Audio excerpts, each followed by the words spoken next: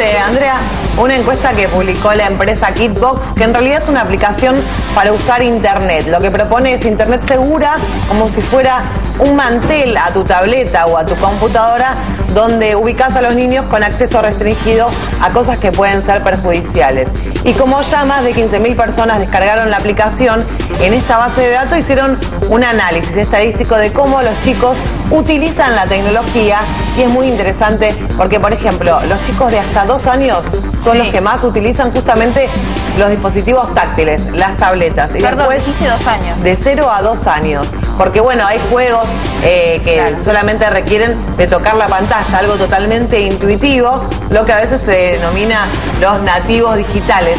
Y después van pasando a la computadora, a los teléfonos celulares y van aprendiendo. Vamos a leer algunas de las características de esta encuesta que dice que el 42% de los chicos de entre 0 y 8 años usan dispositivos conectados a Internet. El 20% de los chicos de 2 años usan estos dispositivos y va aumentando a medida que eh, se eleva la edad.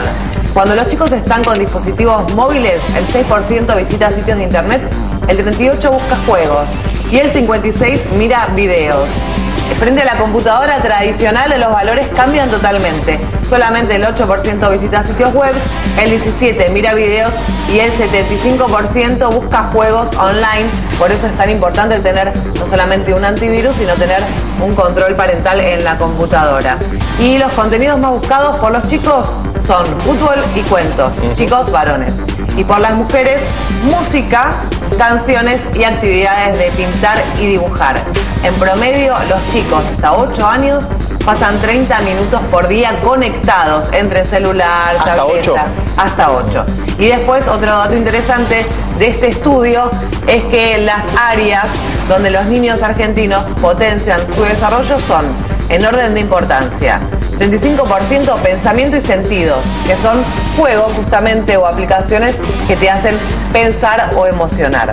26% valores, 16% creatividad e imaginación, 12% usa aplicaciones para aprender lenguas extranjeras, está bueno esto, 4% habilidades para la vida, tan solo un 2% letras y cuentos, números y formas y entorno natural.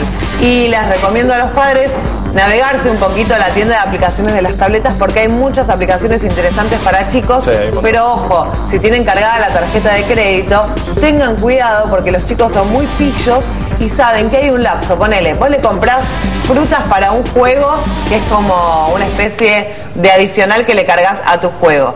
En el lapso entre que se acredita, pasan 8 minutos, donde el chico puede seguir comprando y la tarjeta está abierta. Ah, mira vos. Así que si te llega una cuenta abultada, ya sabes culpa de quién fue. Igual más maña que tarjeta, ¿no? Porque esos juegos a los cuales hacer referencia en las tablets también te dan la posibilidad de todos los días ir ganando, jugando una especie de ruleta y tener algunos jueguitos gratis. Y los pibes después tarde o temprano se cansa, así que estar pagando en dólares.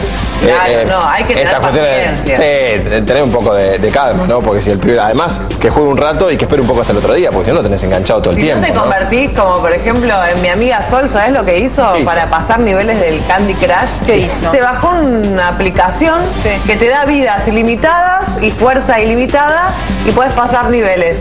Mirá la cara, Andrea me mira muy interesada. Se, se, emocionó. Es medio adictivo ese, es hacer trampa ese jueguito. ¿eh? Sí, es, es bastante adictivo. Es adictivo. El otro día lo jugué y engancha. Y tenés No, que estar molestando gente todo el tiempo pidiéndole vidas, pidiéndole. Sí, bueno. Y te piden, en realidad a mí me piden todo el tiempo, sí, es verdad.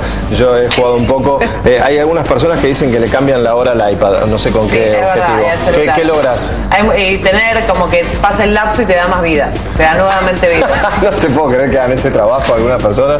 Cambiar la hora para hacer cuenta que pasó un día, digamos, Porque, y que podés sumar. claro, no es que competís con otro, es una competencia con vos mismo y con tu adicción. Qué bárbaro. Lo que pasa es que si le haces trampa, podés estar todo el día jugando al Candy Crush. No, y además tiene esta cosa que te avisa, ¿no? Es decir, te, te avisa y te dice, bueno, ya tenés vidas completas, eh, eso sí te lo hace como que te está invitando a decir, dale, te estamos esperando, venía a jugar acá. ¿no Claro. cierto? Te Sí. digo que uno se obsesiona tanto, se engancha tanto que en mi caso, mi grupo de amigas, uno sale a comer están todas con el candy.